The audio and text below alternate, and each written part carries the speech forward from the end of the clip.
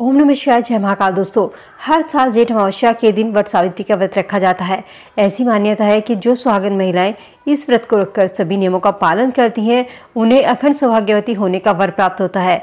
वट सावित्री पर कुछ खास उपाय करने से अखंड सौभाग्य की प्राप्ति होती है। यदि आपको संतान नहीं हो पा रही है, काफ़ी समय से आपके घर में बीमारी चली आ रही है या आपका कोई ऐसा अधूरा कार्य है जो काफ़ी समय से पूरा नहीं हो पा रहा है तो ज्योतिष शास्त्र में अमावस्या के दिन कुछ खास उपाय करने से शुभ फल की प्राप्ति होती है। अधूरे काम पूरे होते हैं, जिनके संतान नहीं है, उनके संतान की प्राप्ति होती है। तो चलिए वीडियो में आगे बढ़ते हैं और जान लेते हैं अमावस्या पर कौन कौन से उपाय कर सकते हैं। साल 2023 में अमावस्या कब की रहेगी? हिंदू पंचांग के अनुसार जेठ माह की अमावस्या तिथि 18 मई रात नौ बजकर बयालीस मिनट से शुरू होगी, जिसका समापन 19 मई की रात्रि नौ बजकर बयालीस मिनट पर होगा। उदय तिथि के अनुसार वट सावित्री का व्रत 19 मई को रखा जाएगा। माना जाता है इस दिन बरगद के वृक्ष की पूजा की जाती है। वट वृक्ष यानी कि बरगद के पेड़ में त्रिदेव ब्रह्मा, विष्णु और महेश का वास होता है।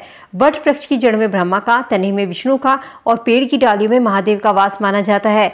इसके अलावा जो नीचे लटकती हुई डालियाँ होती हैं, उनमें सती सावित्री का वास होता है। कहते हैं, जेठ माह की अमावस्या के दिन सावित्री ने अपने तप के बल से अपने पति सत्यवान के प्राण यमराज से वापस लेकर आई। तभी से ऐसी मान्यता है कि जो भी सुहागन महिलाएँ वट सावित्री का व्रत विधि विधान से करती हैं पूजा पाठ करती हैं उनके पति की आयु लंबी होती है और अखंड सौभाग्यवती होने का वरदान प्राप्त होता है।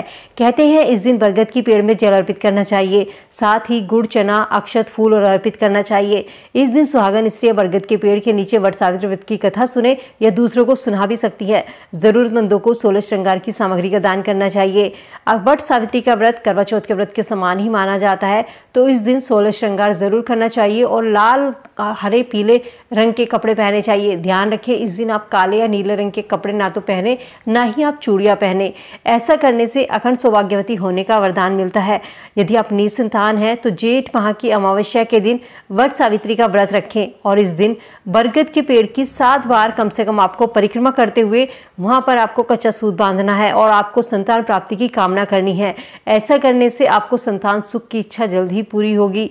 इसके अलावा यदि आपके घर में कोई लंबे समय से आपका कोई कार्य ऐसा है जो अधूरा पड़ा हुआ है? काफ़ी कोशिश करने के बाद भी आपका कोई काम पूरा नहीं हो पा रहा है। तो जेठ माह की अमावस्या के दिन शाम के समय वट वृक्ष के नीचे आपको पाँच घी की दिए जलाने हैं और अपनी मनोकामना, जो भी आपकी मनोकामना है, उसे बरगद के पेड़ के नीचे दोहराना है। ऐसा करने से आपकी जो भी मनोकामना है, वो शीघ्र ही पूरी होगी।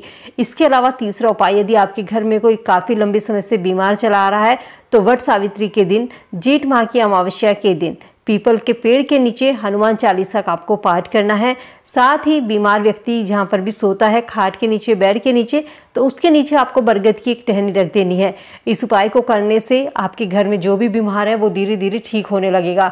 तो दोस्तों, यदि आपके घर में संतान नहीं है, आपका कोई समय, काफ़ी समय से पूरा नहीं हो पा रहा है तो इन छोटे छोटे से उपायों को करके आप भी अपने जीवन में चली हरी परेशानियों को दूर कर सकते हैं। इसके अलावा वट सावित्री व्रत के दौरान अगर कोई सुहागर महिला पहली बार कोई व्रत रखने जा रही है तो उन्हें कुछ बातों का ज़रूर ध्यान रखना चाहिए। जो आप सुहाग की सामग्री इस्तेमाल करते हैं, वो आपके मायके की होनी चाहिए। इसके अलावा, अगर आप पहली बार फलाहार व्रत रखना चाहती हैं तो आपको पहली बार में फलाहार रखना है। अगर आप खा कर के व्रत रखना चाहती हैं, अन्न खाना चाहती हैं तो इसमें आप पहले व्रत में अन्न खा सकते हैं शाम के समय। लेकिन ध्यान रखें, अन्न हमेशा सात्विक होना चाहिए, बिना लहसुन प्याज का भोजन ही आपको करना है। व्रत का पारण करें तो बर्ग, आपको ग्यारह भीगे हुए चने खाकर करना है, या आप बरगद की कोपल खाकर भी व्रत का पारण कर सकते हैं। कथा जब सुनी जाती है तो उसमें भी आपको हाथ में भीगे हुए चने लेकर ही कथा सुननी है। उम्मीद करती हूँ वीडियो में दी गई जानकारी आप सबके लिए यूजफुल होगी। वीडियो से आप लाभ ज़रूर उठाएँगे। वीडियो अगर पसंद आए तो फ्रेंड फैमिली के साथ में लाइक शेयर ज़रूर कीजिए। चैनल पर पहली बार मेरी आवाज़ सुन रहे हैं सब्सक्राइब करके बेलाइकन ज़रूर प्रेस कर लें, ताकि ऐसी ही और वीडियो समय से मिल सके। तो चलिए मिलते नई वीडियो में नई जानकारी के साथ। तब तक स्वस्थ रहिए, खुश रहिए।